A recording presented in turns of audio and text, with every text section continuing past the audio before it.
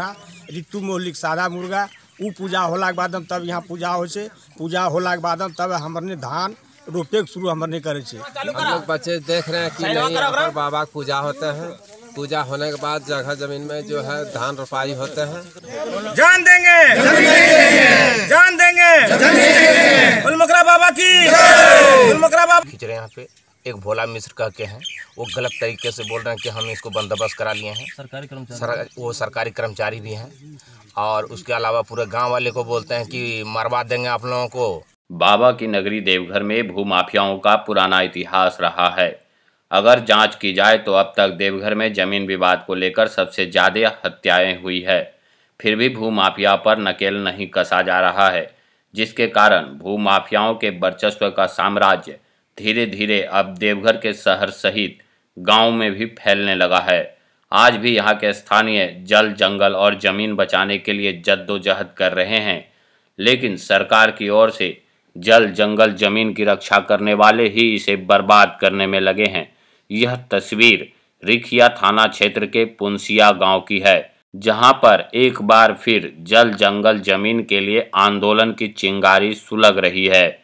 यहाँ के स्थानीय भूमाफिया से तंग आकर अब उनके विरुद्ध प्रदर्शन कर रहे हैं। इनका आरोप है कि भूमाफियाओं के द्वारा देवस्थान को भी बेचने की तैयारी की जा रही है और इसका विरोध करने वाले लोगों को जान से मार देने की धमकी दी जा रही है।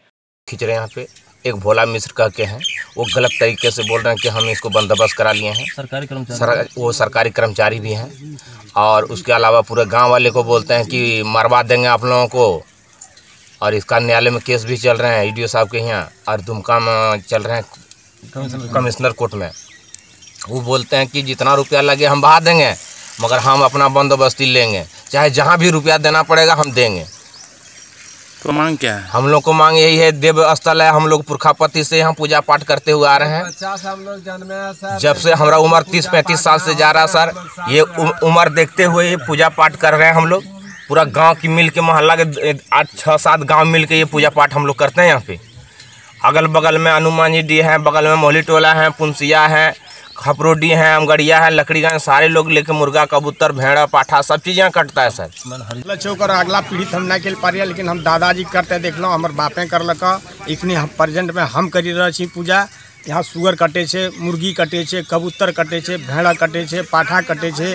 कल्याणपुर के दुबे के सबसे फर्स्टे पूजा ओकरो पहले हो सादा पाठा ऋतु मौलिक सादा मुर्गा। उ पूजा होला के बाद हम तब यहाँ पूजा हो पूजा होला के बाद हम तब हमने धान रोपे के शुरू हमने करे छे। ई ज़मीन देघरा के पंडा बंदोबस्त करवा लेला छै हमर ओकरा बंदोबस्त होल देबे नहीं सरकारी ज़मीन छै ओकरा बंदोबस्त कैसे होते? यहाँ करो तो रहितो नहीं छै ओकर बंदोबस्त कैसे होते?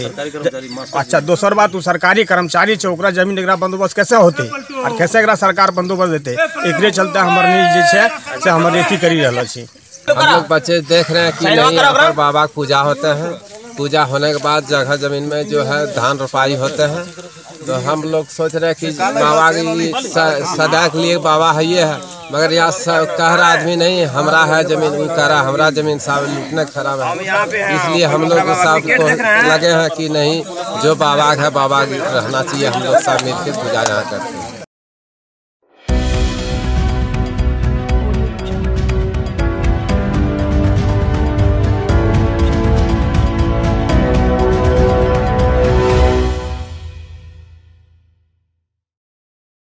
था।